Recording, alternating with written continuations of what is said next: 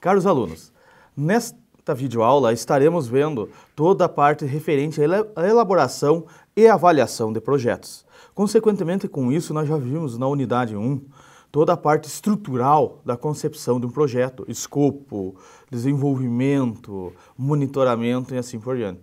Nesta videoaula, nós estaremos vendo toda a parte referente à elaboração e avaliação do projeto. Consequentemente, com isso, o que, que nós podemos dizer dentro da parte de elaboração e avaliação? Que a elaboração de projetos ele, é, ele é um plano que deve ser estruturado a partir de três componentes básicos. Esses componentes irão nos dar todo o suporte para é, elaboração do projeto. Nós já vimos toda a estrutura. Então, quem que são eles? É o escopo, é o plano de ação, é o plano de monitoramento. Após tudo isso montado, nós começamos a o quê? A montagem do nosso projeto, onde nós temos lá o escopo do projeto que ele visa descrever. Dentro dele nós temos toda a parte de definição do problema, justificativa, objetivo geral e específicos do projeto, resultados esperados, área de abrangência. Consequentemente, com isso, nós começamos a ter um subsídio para começar a avaliar ele, para começar a estruturar ele. Então, aqui nós já estamos elaborando, nós já vimos quais são as fases estruturais do projeto. Agora nós vamos montar esse projeto, nós vamos elaborar esse projeto em cima das premissas já levantadas, em cima daquela dificuldade, em cima daquela atividade que nós queremos realizar dentro da esfera pública. Com isso, nós começamos a montar um plano de ação. É ele é um documento, caros alunos, que apresenta de forma estruturada todos os procedimentos e recursos que serão utilizados durante toda a elaboração do projeto, para que nós, dentro dessa fase, nós possamos dar o melhor formato para ele possível, com o intuito de alcançarmos todo o estrutural adequado e também as condições para que ele seja implantado de forma adequada. Então, com isso, nós temos lá dentro do plano de ação quais são os seus elementos. Nós temos o desdobramento das atividades e tarefas. Quais são as atividades, quais são as tarefas a serem realizadas, quem vai realizar, de que forma vai ser realizada e quando vai ser realizada. Nós também temos estimativas de prazos. As estimativas de prazos são quais são os prazos para desenvolvimento de cada atividade, quais são os prazos para o desenvolvimento do projeto como um todo em sua implantação e execução. Tá? Estimativa de cursos e de recursos. Quais são os recursos financeiros que serão alocados para esse projeto? Quais são as estimativas de gastos desse recurso? Qual é o montante desse recurso? É um recurso financeiro? É um recurso técnico? É um recurso humano? Quais, quais são esses recursos? Tá? Quais são as nossas redes de tarefas e o cronograma. Como que eu vou desempenhar as atividades? Então eu preciso estabelecer e montar um cronograma. Dentro do projeto vai ter um cronograma, onde eu vou colocar cada fase do projeto e qual é o tempo que vai ser levado para fazer cada atividade e se as atividades vão se entrelaçar. Dentro disso, nós temos lá é, levantamento bibliográfico de um projeto. Ah, ele vai durar três meses, então eu vou dizer que ele vai durar três meses. Só que nesse tempo eu posso fazer outras atividades do projeto? Posso. Então, mas para isso eu preciso de um cronograma, para mim saber quanto tempo vai durar cada atividade, aonde ela vai começar e quando ela vai terminar. Tá? Com isso, nós já passamos para um plano de monitoramento dentro da atividade uh, de avaliação. Tá? Que ele é o quê? Um documento que contém os procedimentos necessários para o acompanhamento da avaliação do projeto em toda a sua plenitude de execução. Tá? Ele pode ser é, feito através do quê? Matrizes de resultados de serviços públicos, quais são os resultados, o que, que é o objetivo. Esses resultados, independente de ser uma autarquia pública ou privada, nós vamos ter que levar em consideração.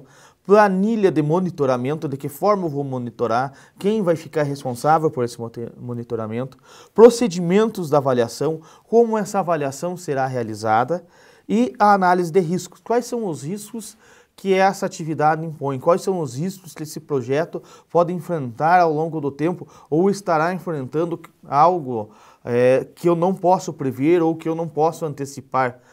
Então, por isso, nós temos toda aquela fase, que nem nós falamos lá na unidade 1, de acompanhamento do projeto, avaliação, reuniões, para que todos esses é, condições que venham a acontecer de forma externa, que não estejam previstas no projeto, possam ser analisadas e possam ser amenizadas ou erradicadas dentro do processo.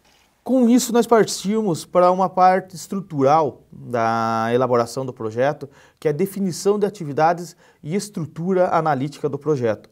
Tá? Ela consiste em o quê? Em organizar as atividades a serem executadas sob a forma de mini projetos ou sob a forma de pacotes de atividades. O que, que isso acaba acontecendo? Muitas vezes nós vamos ter atividades que elas vão requerer um mini projeto dentro do próprio projeto. São atividades que têm uma complexibilidade um pouco maior do que a atividade em si. Tá? É uma ideia principal, é o administrar a implantação, é, de um projeto é aplicar o princípio de divisibilidade. É o dividir as tarefas, é dividir o projeto em várias fases. Posso fazer isso? Posso. Eu tenho que executar todas as fases do projeto? Vai depender do projeto. Vai depender do que eu quero do projeto, o que eu espero do projeto. Eu posso dividir ele em várias fases, em vários mini projetos, com um único objetivo central de formatar uma única solução. Tá? Nesse caso, caros alunos, nós temos a definição de procedências das atividades, que ela é o que? Ela é uma lista de atividades sugeridas no projeto que nos permite planejar algumas possibilidades de combinações de execução das atividades. Você pode observar o, o tempo demorado para executar uma atividade, é, diferentes tempos, diferentes atividades. É, além disso, nós podemos é, iniciar atividades em períodos diferentes, em momentos diferentes dentro do projeto. Então, a definição de procedências nada mais é do que eu alencar qual que vai ser a definição, qual que vai ser o procedimento para início dessas atividades, é uma lista das atividades de forma a fazer com que nós possamos seguir todo um processo de um cronograma, todo um processo estrutural para que nós alcançamos os nossos objetivos. Com isso, nós entramos na avaliação do projeto. Qual que é o sentido de avaliarmos o projeto? Normalmente, a avaliação é um processo mais complexo.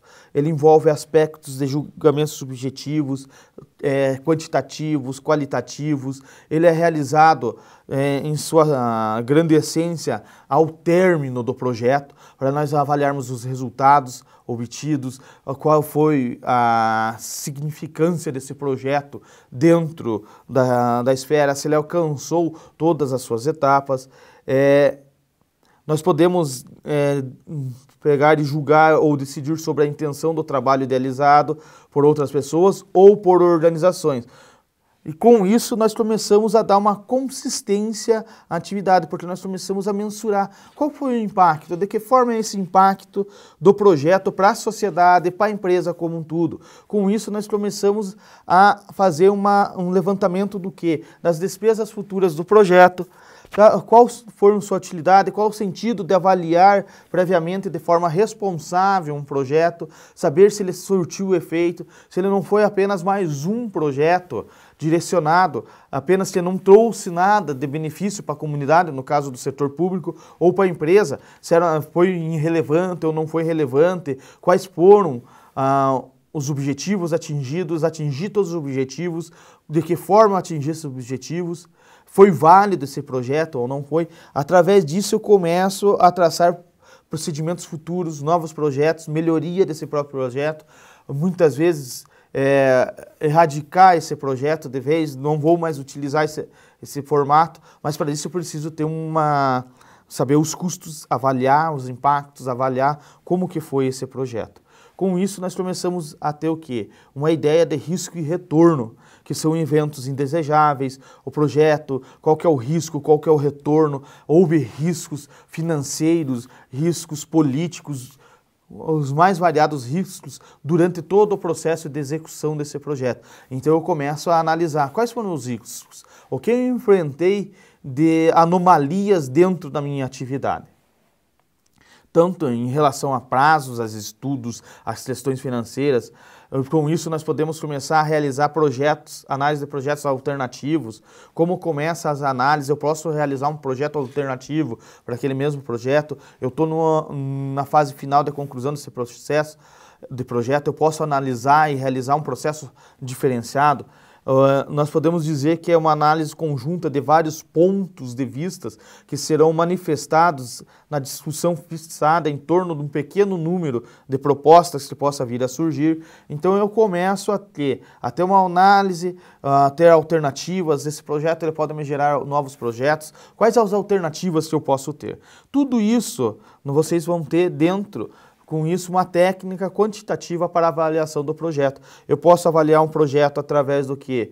De algumas técnicas, que é o, o payback, fazer uma análise mais financeira, valor presente líquido do projeto, dentro da parte nossa financeira, taxa interna de retorno do investimento, quais foram os retornos, qual é a liquidez desse projeto, ele me deu é, retorno financeiro, qual que é esses retornos, qual que é o tempo desse retorno, é, dentro de um projeto que não me interessa tanto o, o retorno, mas qual é o custo-benefício desse projeto, ou não me interessa o montante de gasto, mas o que, que isso vai trazer benefício, qual que é o custo-benefício. Eu estou colocando um projeto, eu estou colocando um valor monetário, eu estou colocando esforços, tanto é, em dinheiro como em recursos humanos ou recursos técnicos, eu tenho que saber qual que é o custo-benefício, então eu preciso avaliar isso também. E com isso nós temos o excedente do consumidor, que é o que? Dentro de um projeto público ou numa empresa, qual que é o impacto social que isso trouxe? Qual que é o retorno que isso está trazendo para a sociedade? Qual que é o impacto que o meu projeto, a minha, a minha realização desse projeto trouxe para a comunidade como um todo?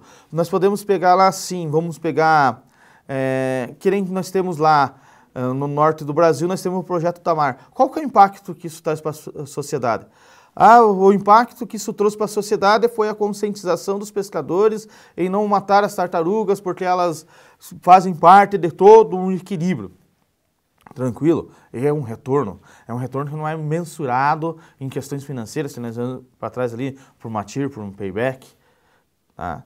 Então, consequentemente com isso, eu tenho um retorno social. Muitas vezes isso que vai interessar para um projeto dentro de uma área pública. Ou pode ser um projeto de uma empresa privada que ela espere que tenha um retorno para a comunidade. Então isso tem que ser muito bem avaliado, muito bem é, visualizado pela equipe que está avaliando. Tanto faz se for no processo de desenvolvimento, do projeto ou no seu encerramento, no seu término, para nós termos um retorno do que ele está trazendo, para nós sabermos se nós vamos dar uma continuidade de manutenção, se esse projeto ele vai continuar sobrevivendo, se nós vamos encerrar essa atividade. Com isso, pessoal, nós começamos a ter todo um implemento sobre a elaboração de projetos. Olhem, leiam mais especificamente a unidade 1 e a unidade 3 do livro da disciplina. Tirem suas dúvidas. Estamos à disposição. Bons estudos.